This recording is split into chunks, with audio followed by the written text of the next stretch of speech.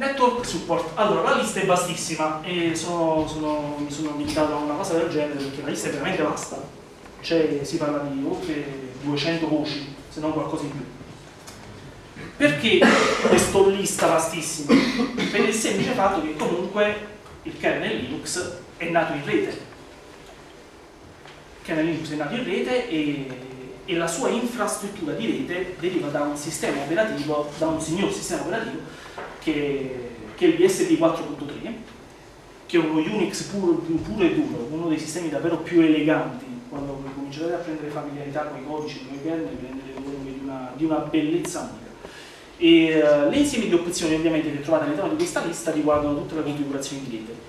Uh, I network option, uh, poi c'è questa simpatica opzione che credevo non, non ci fosse più tipo da, da metà degli anni 80, invece a quanto pare si usa ancora, cioè in pratica il supporto per radio amatoriali, un supporto che se non ricordo male si tratta di un'estensione del tipo AX.25, una cosa che penso sia stata inventata negli anni 60.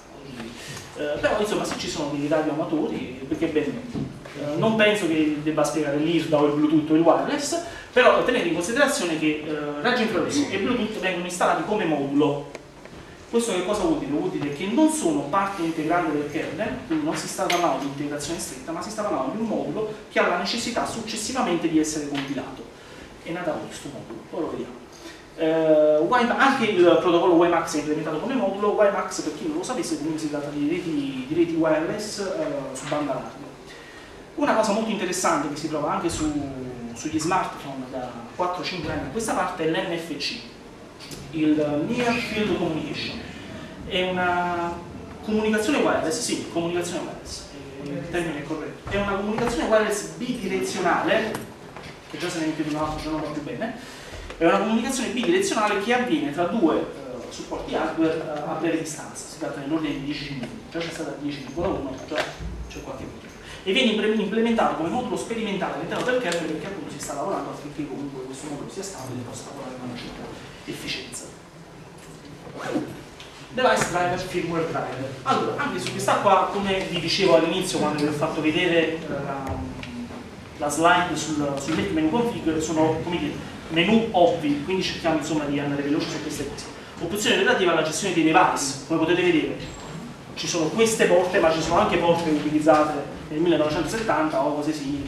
Uh, insomma c'è, davvero, davvero, un bel po' di roba. Uh, la cosa importante ovviamente è che vanno abilitate quelli che noi utilizziamo veramente, perché abilitare dei supporti che comunque non utilizziamo non ha assolutamente senso e comunque si, si appesantirebbe il kernel e quindi anche la sua efficienza lavorativa verrebbe meno. Una cosa interessante è che personalmente mi ha scoperto, infatti volevo parlare con voi, era il firmware driver.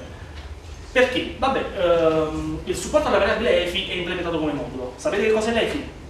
L'Extensible Firmware Interface. Eh, è l'erede del BIOS. Se ne parla dai primi 2000, 2000 forse. Mm-hmm. Eh, un progetto di Intel e piano piano dovrebbe sostituire, dovrebbe sostituire comunque eh, il, il vetusto BIOS eh, la particolarità rispetto al BIOS che stiamo per abbandonare è che comunque è possibile aggiungere, cioè le case produttrici possono aggiungere eh, dei software particolari per il monitoraggio, per uh, l'autoriparazione, eh, per come dire, debugging vari insomma.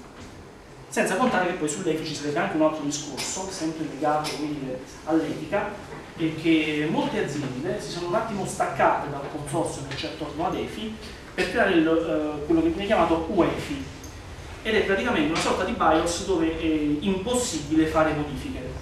Ci sta lavorando Microsoft affinché il suo sistema operativo sia l'unico ad essere installato su una macchina. Quindi se vi capita un portatile che usa UEFI e con Microsoft sopra non lo potete più disinstallare. Detto questo, ovviamente scelta vostra, Passiamo avanti di firmware driver, ecco una cosa, vabbè, c'è un Sigma Studio Firmware Load, confesso la mia ignoranza, voglio condividere questa mia ignoranza con voi, non so Sigma Studio, forse Sigma Studio se non ricordo male è un'azienda che tratta di più grafici, una cosa del genere, forse per stampanti o l'altra risoluzione, e poi la cosa simpatica, l'onnipresente Google Firmware Driver, perché Google se non ci mette lo zampino, forse deve servire per quelle cose stupide tipo Google, Google come si chiama, Chrome, Chromebook, una cosa del genere, però a noi non interessa. Andiamo avanti. File system. Allora, questa è una cosa che da quando sono in questa associazione ripeto ogni volta.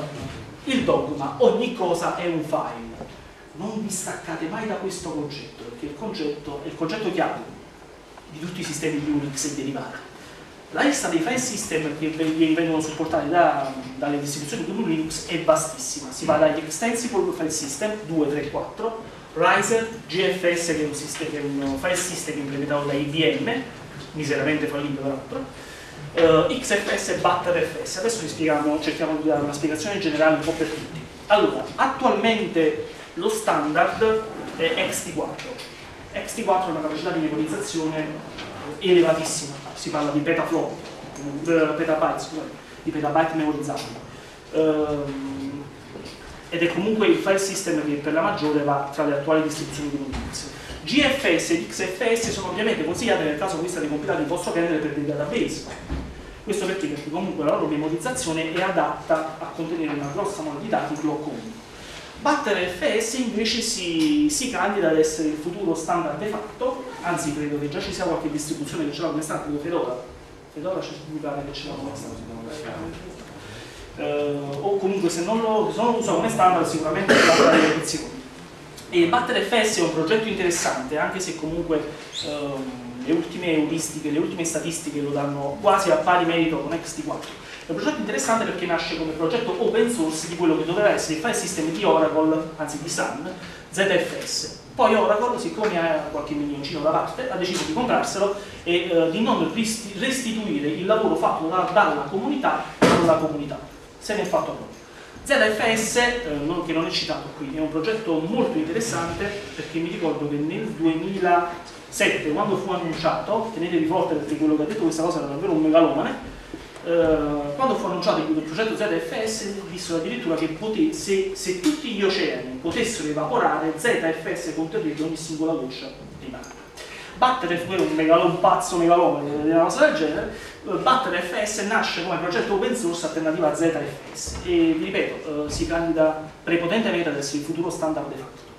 Tutti questi file system hanno a disposizione una tecnologia piuttosto particolare che credo che da poco anche, abbia anche NTFS Units, uh, il journaling.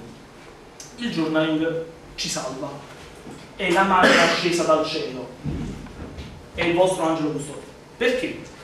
Che cosa succede? Se, uh, allora, nel, nelle occasioni più, dire, più comuni, una casa, sto lavorando, non ho un gruppo di continuità, perché decido molto democraticamente di conservarmi i soldi, se ne va la corrente il file non l'ho salvato. Però peggio ancora chissà adesso al mio disco che cosa sarà successo. Il journaling diciamo che eh, ci toglie questo pensiero per il semplice fatto che è un meccanismo davvero interessante in quanto eh, consente in, in, allora, in, come è strutturato è molto difficile cerco di trovare le parole più, più congrue alla situazione. In pratica è un meccanismo eh, composto da tanti log che annotano l'operazione che stiamo compiendo su un file questo che cosa vuol dire? Vuol dire che sempre prima del famoso calo di tensione, dello stacco di corrente, se io sto facendo una modifica alla proprietà di un file, cioè decido che quel file sul quale sto cliccando in quel momento deve essere in sola lettura, prima che l'azione venga compiuta, viene annotato sul che appunto si stava facendo questa operazione. Cade la tensione, ho un blocco della mia rete elettrica viene meno, io comincio a bestemmiare copiosamente contro l'Enel, però che cosa succede? Succede che al riavvio della mia macchina avrò questa modifica annotata. Quindi vuol dire che quella modifica che stavo, che stavo facendo io non l'ho persa. Non si è danneggiato quel particolare blocco, non si è danneggiato quella, particolare stringa sulla quale sto lavorando, eccetera, eccetera, eccetera. Altra particolarità interessante che si trova di questo menu, eh, il supporto delle quote. Praticamente se voglio utilizzare solamente un tot di disco mi si fermo là e basta. Fuse, implementato come modulo. Fuse eh, è un progetto notevole che vi invito a, a integrare, a studiarvelo da, davvero con estrema perizia per il semplice fatto. Allora, Fuse è l'acronimo di File System User Space. In pratica permette a chi ne ha di capacità, quindi dopo parecchi kernel panic e dopo parecchie righe di codice compilato, di scrivere, tenetevi forte, un file system. Cioè voi decidete ad abilità acquisite, di scrivervi un file system che fa vostro, al, al, per, le, per, le, vostre esigenze. La cosa particolare di questo modulo è che lavora in user space. Digressione, torniamo alla prima slide, kernel monolitico, stretta integrazione tra user space e kernel space. Okay? Se io lavoro a kernel space, io faccio un while. guai, ai guai di quelli seri, perché la macchina davvero rischia di non, di, non, di non, avviarsi più o comunque combina un guaio e comunque mi costringe a ricompilare il kernel da capo. Invece eh, con il modulo Fuse che cosa succede? Succede che io lavoro in user space, un ambiente relativamente protetto, relativamente dovuto al fatto che io comunque non vado a fare danni a basso, troppo a basso livello. Uh, quindi insomma vi, vi, consiglio di dare un'occhiata a questa cosa perché volendo restare un attimo in genere è davvero una nerdata. Detto questo, passiamo avanti, vabbè, il supporto ovviamente ai file system di tipo DOS, FAT e NT file system e poi il network file system. Allora, Sempre per il principio secondo il quale i sistemi di distribuzione con Linux, in particolare il kernel Linux, sono nati in rete e per la rete, eh, questa, questo sottomenu è davvero molto ricco perché contiene opzioni relative eh, all'implementazione del modulo SAM, cioè scusate, del, del file system SAM, SAM, anzi SMB. SMB è un file system di rete eh, creato da Microsoft parecchio tempo fa, eh, non decise di rilasciare il codice alla comunità e la comunità ovviamente fece rendersi e si, si fece il suo file system da solo.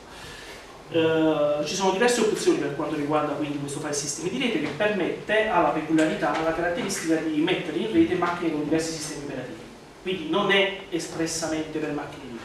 Se io all'interno, sia io a casa mia, sia all'interno di un ufficio, in un ambiente di lavoro, ho due macchine che lavorano con Linux, una che lavora con FreeBSD, 8 che lavorano con Windows, e due che lavorano con Mac, solitamente la proporzione è quella, posso comunque uh, utilizzare come, come file system di rete appunto SMB. È implementabile ovviamente a mezzo di questo menu. Uh, a mezzo di questo menu volevo ricordarvi, uh, per chi magari ha a che fare con architetture distribuite o ha intenzione in futuro di avere a che fare con architetture distribuite, la presenza di un file system che è l'ira di Dio. Perché l'ira di Dio? si chiama Andrew File System, è un progetto di metà anni 80, quando va sempre il vecchio che ritorna, perché quando va gli ingegneri consultivi di ingegneri lavoro. Detto questo, perché eh, l'Open Andrew File System, l'Open AFS, è un file system potente, notevole. Eh, vi dico solamente una cifra che quando ebbi opportunità di dirla eh, sia lo scorso anno che nel Linux Day 2010 parlando di analisi forense e criminalità informatica, eh, la cosa ha liquido un po', un po' il pubblico. Il rapporto client-server è elevato, ma è elevato davvero, nell'ordine di 1 a 10, 1 a 100, 115.000 a 1. Cioè una macchina server dove il network file system è implementato con AWS permette di gestire come se fosse una sua macchina, uno a uno, 115.000 macchine. Ovviamente nessuno di noi si troverà con 115.000 macchine a disposizione, ci mancherebbe. Però insomma è da tenere in seria considerazione se si tiene in particolare attenzione all'architettura.